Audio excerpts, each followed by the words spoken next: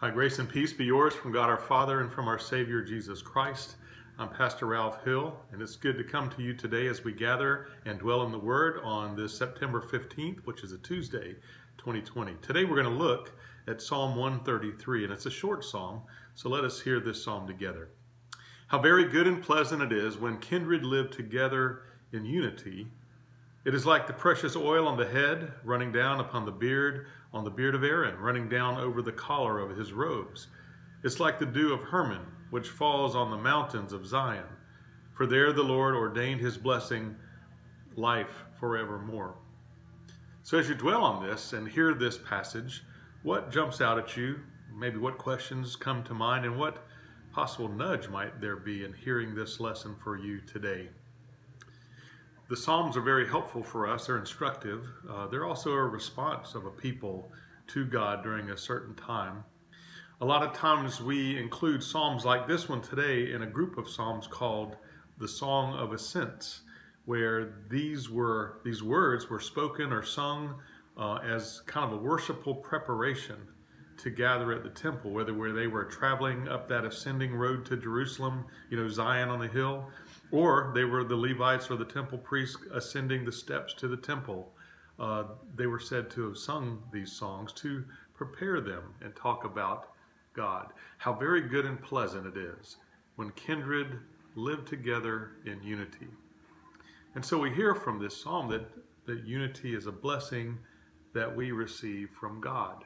And you can almost imagine people getting ready for worship, putting behind them all the cares and troubles of the day, of this human life that we live, and gathering around something holy and helpful for us in life. Um, but think about unity and peace. We probably all are have times of disunity in our lives, and we also hopefully all have times of sincere and deep peace that help us get through I remember after reading this psalm, I was thinking about disunity, and I remember about 10 years ago, our denomination encountered some disunity as it struggled with some theological issues, and I see different denominations do this periodically. But as a result, for us, our congregation experienced some division, and the words and the emotions of division um, were the cause of turbulence, and that's kind of what I remember of that time. Sometimes um, it came across as accusations Sometimes it was just raw frustration. Um, and when we began to focus, I found, because it took us about two years to kind of regroup and get through this time, when we began to focus on the path forward, listening to God's unifying call of ministry, and it helped us to focus on our fivefold areas of what we do as a church. We worship and learn as we gather together, but then we go out in the world to witness and serve. And then we have a fifth component called support, and it's what we as the people of God connected to Mount Horeb do to help support financially our church to make sure we're a strong place, but also to support one another in fellowship and in doing things together. And that came out of this turbulent time.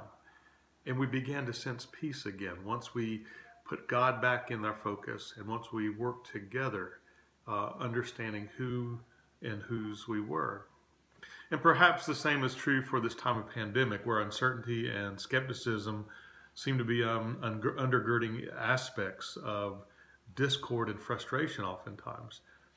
And it was helpful when we, when we as a church decided to use some science and data to be a part of the formula to help us understand and to guide our response. What are we going to do? And so we put together some phases that would be phased in as we would approach re-entering church, coming back together, but it would be based on what the scientists and what leaders in the medical community were doing. But it was also helpful to think as a church about what we could do as opposed to thinking on what we can't do. Sometimes when you just focus on what you can't do, you can get stuck. And once we realized that even though it wasn't safe to gather indoors in groups, we realized we could still gather. We could gather online, we could gather in events that were outdoors, uh, through checking in on each other in social media, and there are many ways. And we can be reminded that the church continues through us individually, that when we live our lives wherever we are, we share and shine the light of Christ. And that is our mission. We gather to hear God's word, we go to share it. And that's even our tagline experiencing and sharing God's presence. And, you know, though there are people across the spectrum of believing how COVID 19 exists, common ground or unity has been a byproduct of this epidemic in some ways. Unity in homes as families come together, unity in churches and businesses as we all scramble to continue, but maybe in a new way, or in schools as innovation and brave uh, teachers lead forward. And this reminds me also um, of a theologian by the name of Reinhold Niebuhr, uh, was in the 20th century, who penned the Serenity Prayer that we we use a lot today. Oftentimes, it's used with Alcoholics Anonymous. But in this prayer, he encourages people to focus on things that unify, on things that we can change, versus focusing on the things we can't change. Um, and as we realign then our thoughts on the possible, we experience a sense of peace or a serenity. And this, we believe, comes from God. And so the first part of this prayer goes God, grant me the serenity to accept the things I cannot change, courage to change the things I can, and wisdom to know the difference. Now, this serenity or peace happens as we feel unified then in possibility and in purpose. The psalmist today says, How very good and pleasant it is when kindred live together in unity. So we know that unity is a gift from God. It's a desire for us of God.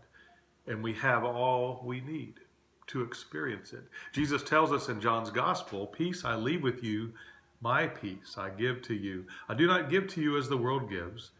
So don't let your hearts be troubled and don't be afraid.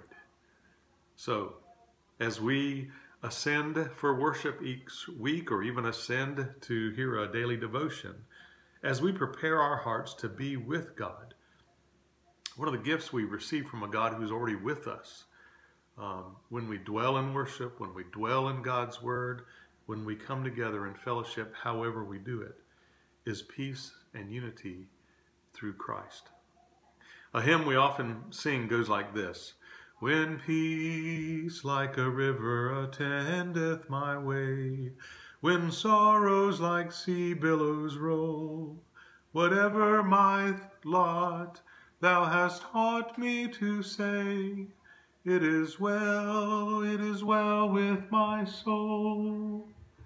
So may God's peace like a river attend your way today. Let us pray. Gracious God, thank you for the day, for the gift of your love and grace and wisdom that helps us to uh, know the difference between the things we can do and can't do. And so give us your peace and bless us today. In your name we pray. Hey, good to see you today. Have a great one.